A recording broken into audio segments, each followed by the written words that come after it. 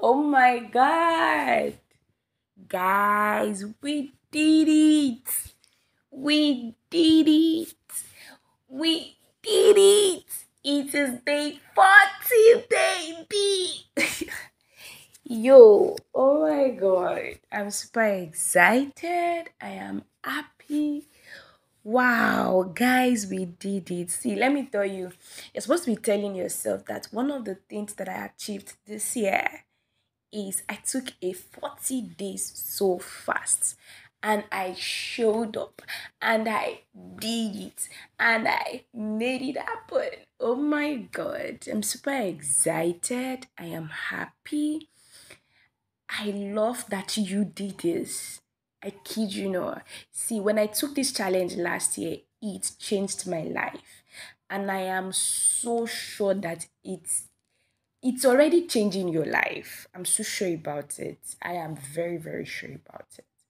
Guys, and you know the beautiful thing about this? I love what today's fast is about. Today's fast is about telling, is about telling, and the characteristics is community you can just say today's fast is just about you learning that God wants you to share your story. I remember last year, you know, when I encountered this fast, and you know, I saw it in the book that the book kept saying something about tell your story. I encourage you to tell your story. He said, I challenge you to be the light you want to see. And I remember telling myself that, see, sharing my story makes God happy. I don't know why. See, today, today is the last day, so let's just talk off record and stuff. I don't know why that thought stuck with me, but I just felt like telling my story is one of the things that the Lord wants me to do. I don't know about you, you know. I, I get what see, and the beautiful thing about these thoughts is that it's it just filled me with this supernatural confidence like it just made me become I, like I became less ashamed to share my story. Like I be I, like I wore my story like I wore my story like a shirt, like a I don't even know how to put it. You can see my excitement, right? Like it just it just it just okay, let me say this. This this stood out for me. As you become your true self and you tell your story to others, you become part of a cloud of witness, a city set on a hill whose light shines brightly and who collectively witnesses the love of God for the world. So let your light shine. Like telling my story is one of the ways I let my light shine. Should I say that again? Telling your story is one of the ways you let your light shine. You know, and then there was this, this, thought that came to my head that what if something happens to me today? My story is let in the hands of people who thought they knew me. Because the truth is, not everybody will know you. Not everybody, like, no peace and no peace. So stop trying to be like, I want to be known by everybody. I still remember there was this lady, I don't know if you know her, but her name is Simone. She's an athlete and she I've forgotten I've forgotten what she does, but she there's this particular sport that she does, and she's one of the Guinness Book of Record owner holders holders. And she talked, she just got married recently, last month, or either April or May, if I'm being correct. And Simone said that one of the things that drew her closer to her husband was the fact that she thought that he would know her. You know, like she's popular, she's an athlete, she's she's on G's cover of everything. But she said that he did not know her, and that and that made her feel a sense of relief. I remember when Sarah um Sarah Williams also Serena Williams also talked about when she first met her husband. And she said the guy did not even know anything about tennis, talk less of even knowing a name. And yo, this is one of the this is one of the goats of the profession.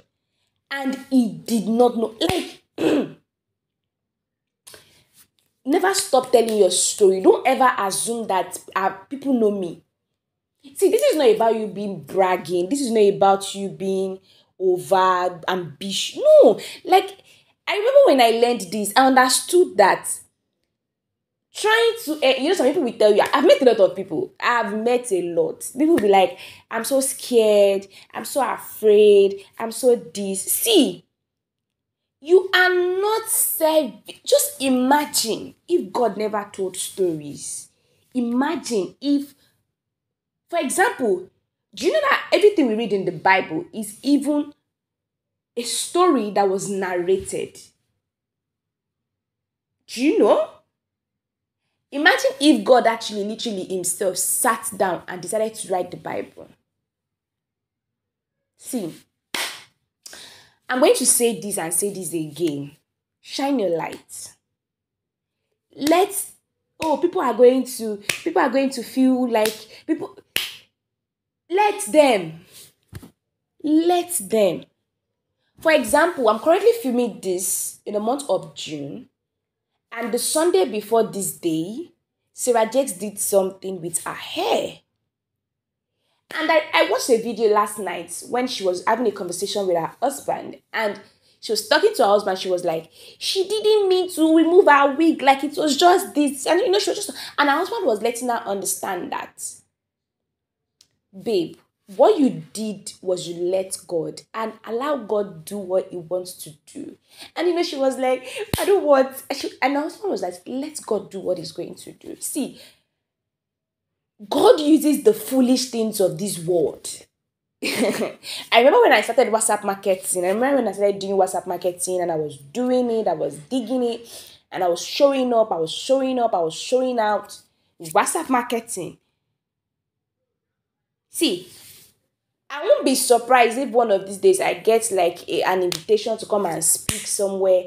I'm going to tell them, put it there. A girl from WhatsApp doing amazing things in the world. Yeah, I'm that I'm that babe. Keep telling your story. Never assume that everybody has heard it. I wrote a ebook, right? Sharing my story. Even though I'm like, oh, this book is not perfect. I could have done this, I could have done that. I still stood with my book, and currently we've sold more than 35 copies of the book. We're almost nearing 40 copies. We're almost nearing 50 copies. And I look forward to when I will say we've sold 100 copies, 1,000 copies. And by the grace of God, the book is going to be on Amazon by the end of this month. Yo, what am I saying? Okay, I'm becoming so passionate about this, right? Because I wish everybody could understand. Share your story. Build that platform. Share your story.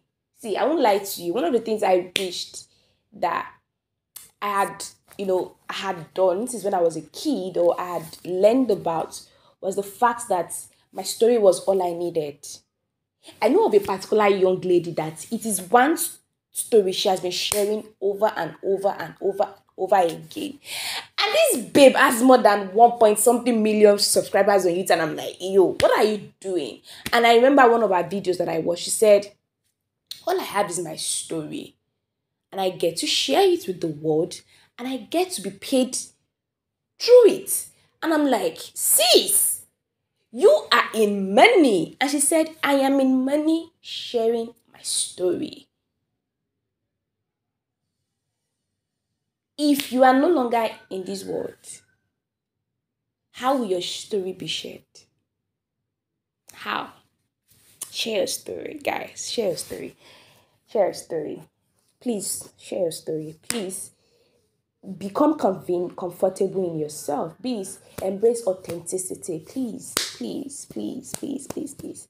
Be the light you want to see. And I encourage you to tell your story. I feel like I should even customize these two words on a shirt. Be the light you want to see. And the last one I'll say, I encourage you to tell your story. And then I'm going to wrap it up with this particular stuff. I this this you know, I don't know if you know, you definitely know I'm okay, don't let me assume you know I'm Michelle Obama. I'm the former first lady of United States. You know, and she said something in this video I watched. She wrote a, a book recently. I'm still looking forward to reading the book. Um, the lights, the lights we carry or the light you carry or some something like that.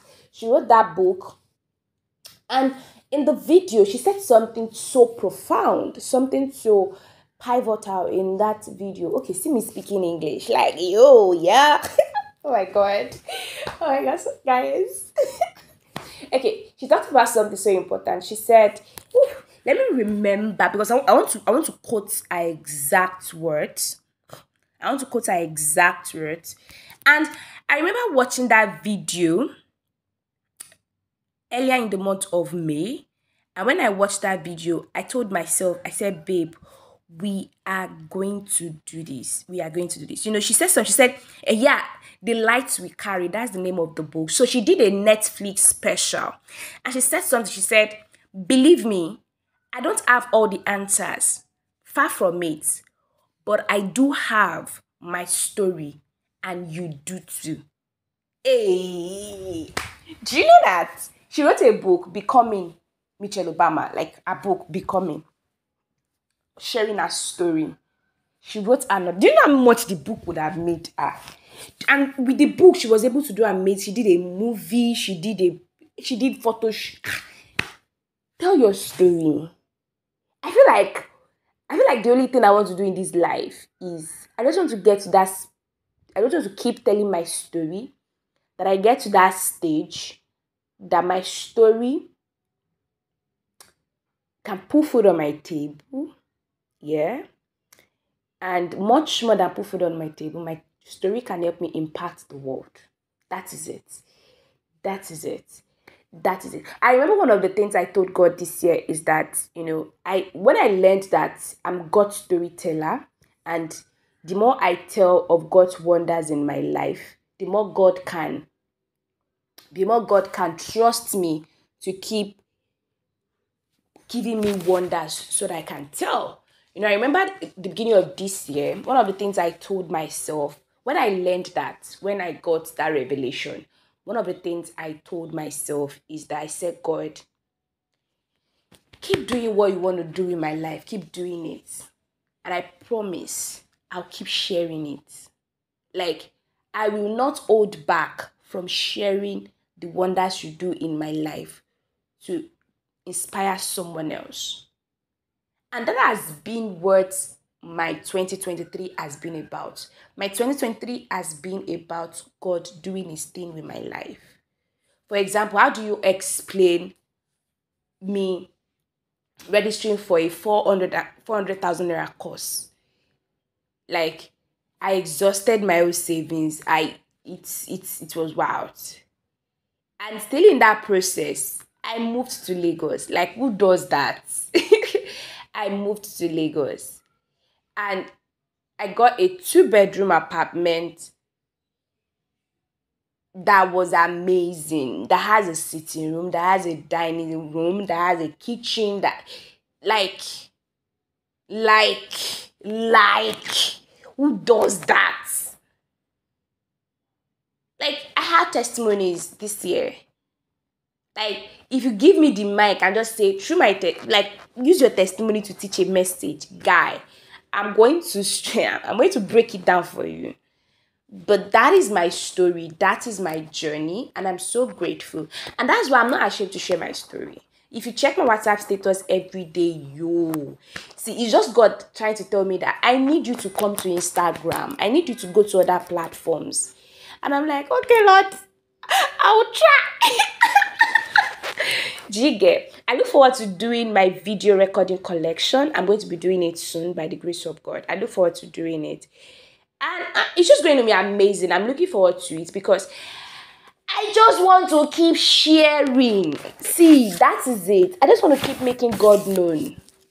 See, if you don't share, you can't make God known. All right. And I love what, you know, today's fast, the last word Mama said to us in today's fast. Let me read it to you because it really blessed me. Let me read it to you. It really blessed me, and I really want you and I. I want to read it out to you just in case. In case maybe you know read them or in case the thing no stick. Let me read it to you because it really, really stood out for me. And let me say it back to you. it says that um ash let me try and look for it. It was talking about the fact that um, you and I, I encourage you to tell your story. Better yet, write a bigger story for yourself. Oh, I'm trying to look for it. I'm trying to look for it. Oof, and I saw it. I saw it. It said, Congratulations. Here we are on the very last day of the 40 day Soul Fast. I commend you on completing the journey and I pray that you are living more authentically as a result. So important. So, so important. So, so important. You know, and the beautiful thing is, he said, he was talking about um, community. He was living about community and the importance of community. It says in a community, you find connection, collaboration, communication, acceptance, compassion, respect, support, safety, shared values, inclusion, kindness, tolerance, understanding, and inspiration. Inspiration. All right, so and lastly, I want to say this that he says, she said, let me know how living more authentically has made a difference not only within you, but also in the world around you. I believe that as each of us participates in the healing of our own soul, we are participating in healing of our world. And together we can create a healing movement that will bring peace and prosperity to people everywhere. Guys, and with that, we have come to the end of the 40 day Soul Fast. Somebody, somebody, somebody, somebody, somebody, somebody. See, if by now that you are listening to this, you have not bought my ebook, what's going on? Is it talking of a thousand naira? It talking of a thousand naira. So check the description box, get a copy. Let's elevate cheers to authentic living. I'm sure that this has blessed you.